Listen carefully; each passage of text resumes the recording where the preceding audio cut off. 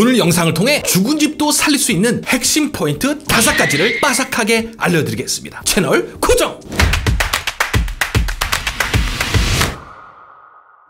안녕하세요. 스티브한 부동산 TV의 스티브한 인사드리겠습니다. 반갑습니다. 어, 오늘 영상은 제가 인트로 때 말씀드렸다시피 정말 죽은 집, 막 막말로 내 썩은 집이라고 할까요, 여러분? 속된 말로 그런 집도 다시 살리는 부활시킬 수 있는 다섯 가지 핵심 포인트를 제가 알려드리겠습니다.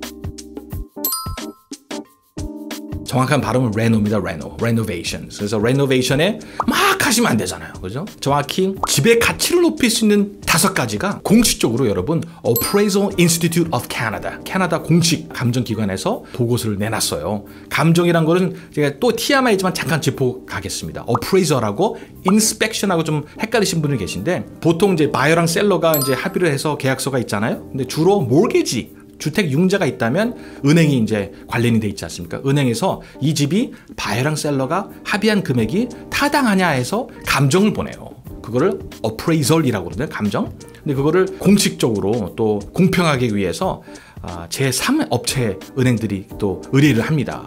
그거에 대해서 라이센스 갖고 있는 분을 관리하는 것이 Appraisal Institute of Canada이거든요. 그래서 공평하게 감정은 나오죠. 그거랑 inspection은 틀립니다. 뭐 가전제품 다 돌려보고 뭐 어디 물 새는지 확인해보고 지붕까지 올라가신 분 이런 게 inspection. 이게 보통 한 서너 시간 이상 걸릴 수도 있죠. 그래서 두 개 다른 과정이죠. 그래서 오늘은 감정사들이 내놓은 다섯 가지만을 바꾸면 집이 죽어 있던 집도 살아났어. 그만큼 가치가 높여지는 그런 얘기를 한번 해보겠습니다. 첫 번째로 감이 오셨는지 모르겠지만 부엌입니다, 여러분. 네, 주방. 여기서 우리가 알 수 있는 게 여성분들, 여성분들이 좀 시간을 많이 보낼 수 있는 부분이 부엌이지 않습니까? 남성분도 많이 이제 요리를 하시지만 거기서 많이들 저희 집도 부엌 근처에서 아이들이 공부하고 항상 얘기 나누고 그러거든요. 시간을 많이 보내는 역시 그런 부분이라서 그런지 여기가 좀 어두침침하고 또 부엌 옛날 부엌 같은 경우에는 항상 separation이 있잖아요. 딱 부엌 이렇게 거기 가서 그냥 혼자 설거지하게끔 만드는 옛날식. 벽을 뭐 이렇게 remove 한다든가 아니면 어두운 이런 저 부엌을 화사하게 하얗게 캐비넷 바꾼다든가 이런 거를 많이 하시거든요. 왜냐면 이런 표현 아마 들어보실지 모르겠지만 happy wife, happy life. 그죠 여러분? 와이프가 해피해야 인생이 즐거워진다. 여기서 어, 제 개인적인 생각도 부엌이었는데 여기서 캐나다 공식 기관에서도 그렇게 보고서가 나왔네요. 넘버원 주방을 바꿔야 된다는 거. 두 번째는 updated bathroom. 네, 많은 분들이 보통 어, 침실이다라고 생각할 수도 있지만 주방 다음으로 중요한 것이 화장실입니다. 네, 화장실도 보통 음침하게 하면 안 되고요. 뭐든지 좀 밝게 countertop 주방처럼 그 상탑을 조금 이제 돌로 바꾼다든가 이렇게 좀 밝게 바꾸거나 또는 보통 이제 tub bathtub 그렇죠 욕조가 있으면 세련되게 유리를 위에 위에만 이렇게 그 커튼을 유리로 바꾸는 그런 분들도 있어요 생각보다 덜 비용이 듭니다 근데 그런 데서도 뭔가 바뀌었다 그리고 타일도 밑에 타일 바꾸기 힘드시면 그 우리말로 모노룸이라는데 어, 그것도 바꿔도 굉장히 또 깔끔해 보인다는 거. 그래서 화장실도 중요합니다. 두 번째였어요. 세 번째, 저도 또 개인적으로 항상 늘 이게 비용이 제일 덜 드는 겁니다. fresh paint, 페인트를 싹 화사하게 하얀 계통으로. 예, 어르신들은 좀 많이 놀라시는 분들이 전체를 하얗게 해? 그 무슨 뭐 병원이라고 그러시더라고요.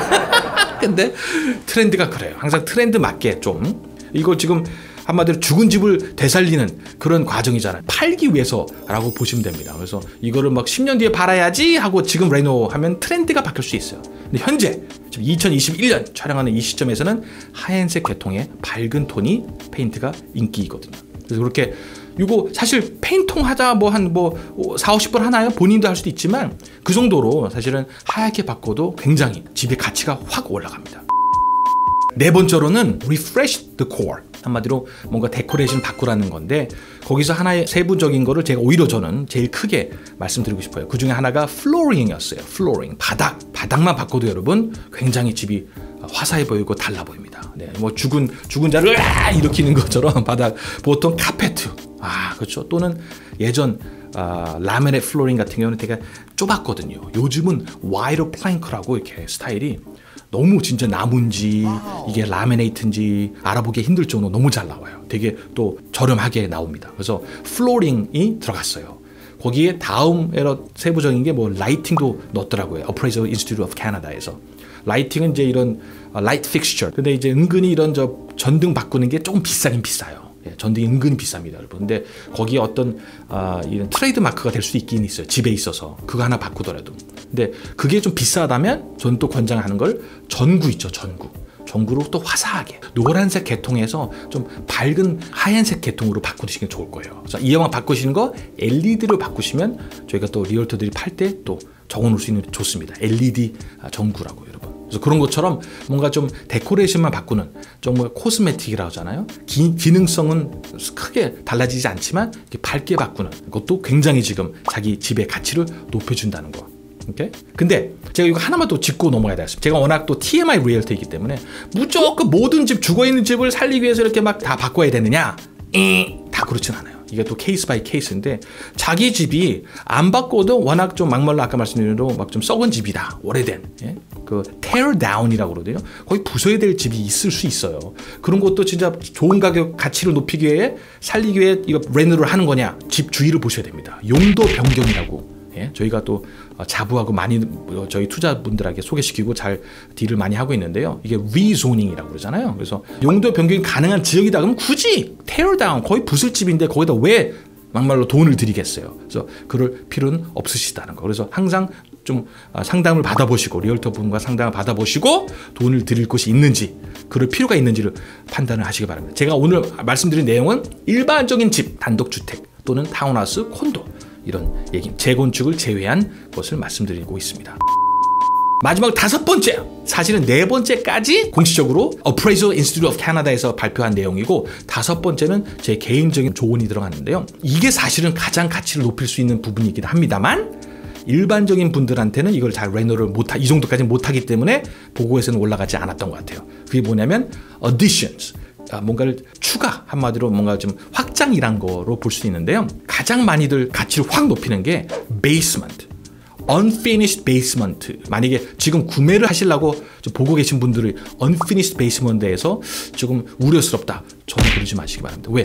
집의 가치를 가장 많이, 아까 그 네 개 중에서 가장 많이 높이는 게 이런 다섯 번째일 수도 있을 것 같아요. unfinished basement란 뭐냐면 지하가 보통 drywall이 없고 stud라고 그러잖아 stud. 그죠? 이런 뭐 프레임 이런 것들만 있는 곳을 unfinished basement라고 하거든요. 그거를 마감으로 하시거나. 두 번째 아예 하는 김에 suite 한마디로 세입자. 이게 근데 separate entry 어떤 별도의 출입구가 있어야 되겠죠 지하에. 그런 경우는 아예 renovation 하는 경우 세입자가 살 수 있는 공간도 집어넣어 버리자. 부엌을 집어넣어 버리자.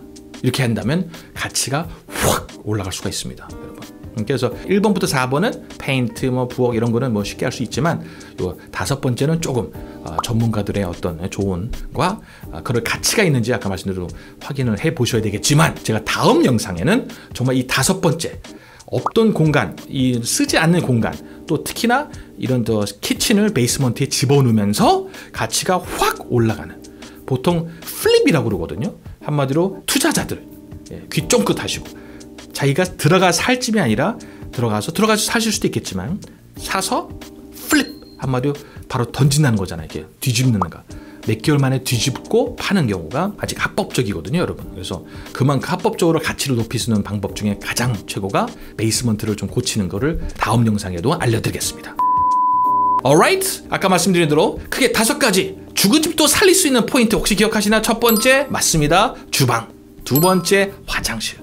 세 번째 페인트, 네 번째 바닥 및 전등 또는 전구, 다섯 번째 돈이 가장 많이 들 수 있지만 이렇게 어, 업데이트가 안 된 basement를 세입자까지 끼거나 finish를 만드는 거. 여러분 죽은 집도 살리세요.